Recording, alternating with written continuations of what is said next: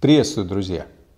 Спустя 10 дней после начала протестов в Казахстане можно сделать первые выводы о происходящем. Эти выводы важны не только для понимания ситуации у наших соседей. Сейчас практически в прямом эфире мы можем наблюдать и анализировать вполне себе близкое будущее нашей страны. Протесты, судя по всему, поначалу имели понятные социально-экономические причины. Где-то до 2015 года экономика и благосостояние людей в этой стране росли достаточно высокими темпами. Причина – либеральные экономические реформы, относительно независимая судебная система и, как следствие, приток инвесторов и специалистов. Но после все пошло не так. Прекращение бурного роста цен на добываемую нефть, монополизация экономики на фоне торможения роста в мире и у ближайших соседей – ну, где-то по причине пандемии, а где-то еще по каким-то причинам, все это привело к падению темпов роста экономики. Есть многократно повторяемые примеры успешных экономик во главе с авторитарными лидерами. Ну, типа э, Ли Кон Ю в Сингапуре или Пан Чон Хи в Южной Корее или, наконец, Пиночета в Чили. Ну, во-первых, на три удачных примера приходится три сотни неудачных. Но главное, даже самый прогрессивный э, автократ, засидевшийся у власти на 20, 30 или 40 лет, перестает быть прогрессивным. Казахстан позднего Назарбаева – это коррумпированная и монополизированная страна, полностью поделенная между членами одного клана. Дети, племянники, зятья, доверенные лица на любом влиятельном посту или приносящем э, прибыль в бизнесе, вы обнаружите кого-то вот из них. В 2019 году Назарбаев формально покинул пост президента Казахстана, оставив вместо себя преемника Касым Такаева. При этом Елбасы сохранил значительную власть – пост главы Совета Безопасности и председателя правящей партии. К тому же Елбасы оставил лично преданных ему людей во главе правительства и спецслужб. И даже на международных мероприятиях, как, например, в Санкт-Петербурге в декабре 2021 года, Казахстан представляли два главы государства. А личную встречу Путин провел именно с Назарбаевым, а не с формальным президентом Такаевым. Такое унизительное для действующего президента двоевластие и сопровождающее его, естественно, сохранение денежных потоков в руках прежнего окружения продолжалось два года – и, похоже, закончилось только что на наших глазах. Такаев воспользовался социально-экономическим протестом для того, чтобы избавиться от Назарбаевского окружения. Сначала было отправлено в отставку правительство, назначенное еще Назарбаевым. Затем сам Назарбаев был смещен с поста главы Совета Безопасности. Смещен, хотя по закону для него это была пожизненная должность. То есть Такаев на самом деле произвел революцию, существенные политические изменения вопреки действующей конституции. Ну а потом ближайший соратник Назарбаева, бывший премьер-министр страны, глава казахстанского КГБ Масимов был не просто отправлен в отставку, а арестован по обвинению в госизмене. Чтобы все это провернуть, Такаеву потребовалась силовая поддержка. Вероятно, он не нашел ее в Казахстане, ну или не был на 100% уверен, что найдет. И тогда под предлогом борьбы с какими-то совершенно неведомыми международными террористами в Казахстан были введены войска АДКБ из России и Белоруссии. С этого момента Такаев даже говорить стал по-другому. Террористы под командованием зарубежного центра, убитые силовики, изнасилованные женщины, стрелять на поражение без предупреждения. Правоохранительным органам и армии мною дан приказ открывать огонь на поражение без предупреждения. Кстати, и количество жертв стало расти не с момента начала протестов, а с момента, как Такаев изобрел этих самых международных террористов. Правдоподобность версии с террористами хорошо видна на примере этого несчастного джазиста из Киргизии. Сделать такое заявление, якобы тебе предлагали деньги, и ты прилетел на митинг ну, в Алмату с целью митинга, то тебя сразу же как бы э, экспортируют в Бишкек. Ну, вот зачем я все это вам рассказываю? Почему произошедшее в Казахстане имеет прямое отношение к нашей стране?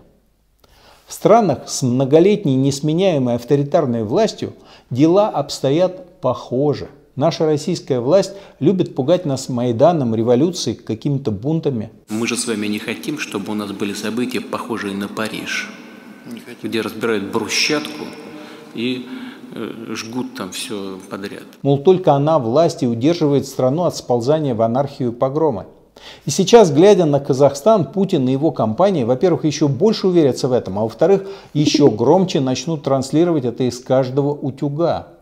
Но в реальности причинно-следственная связь совершенно другая. Протесты и революции случаются не из-за смены власти на честных выборах и не из-за каких-то подготовленных за рубежом смутьянов. Революции и бунты происходят там, где вождь слишком засиживается на своем посту и ликвидирует все законные способы смены.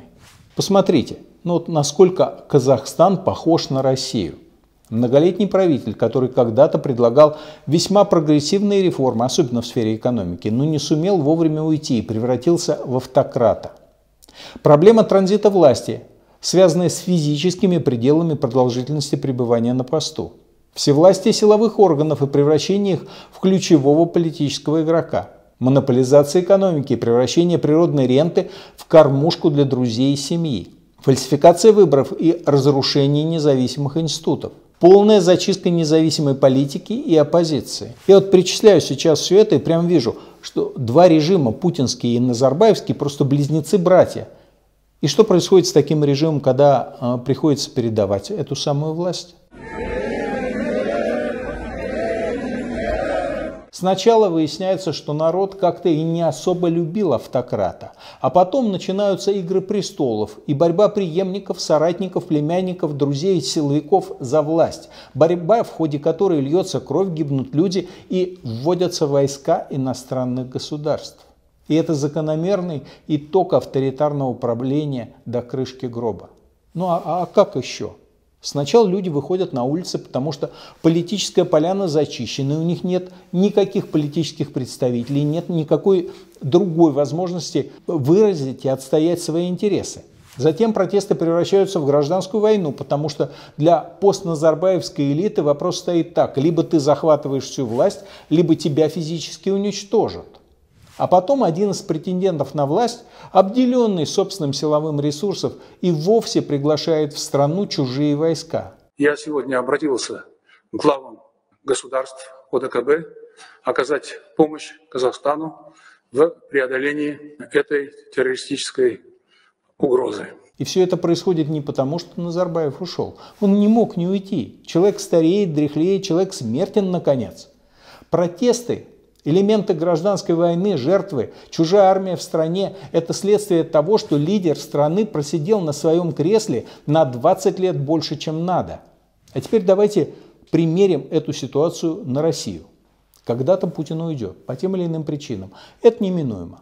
И чем дальше он засидится на своем посту, тем больше ситуация будет похожа на сегодняшний Казахстан. А может даже острее. Вот что оставит после себя Путин?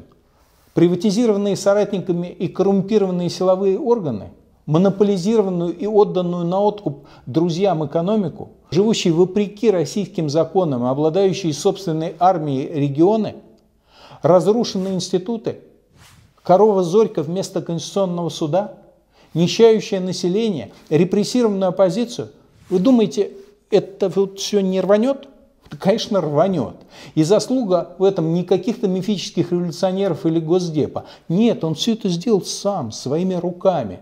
20 лет безнаказанности и воровства. И у каждого бенефициара путинского режима есть куча скелетов в шкафу, и каждому есть что терять. И никаких институтов или законов для разрешения противоречий ничего не осталось. А противоречий, ох, как много. И главное, с каждым дополнительным днем, проведенным Путиным у власти, противоречий становится все больше, а перспективы хуже. И в результате все равно революция. Только сверху, в интересах нового клана и с привлечением иностранных войск. Может, лучше все же было вовремя смениться на честных выборах? Может, не стоит врать себе и стране, что ты раб на галерах, когда на самом деле ты и твое окружение давно уже сборище ракушек, облепивших днище корабля и мешающих ему плыть. Это те выводы, которые нам стоит сделать из происходящего в Казахстане. Счастливо вам!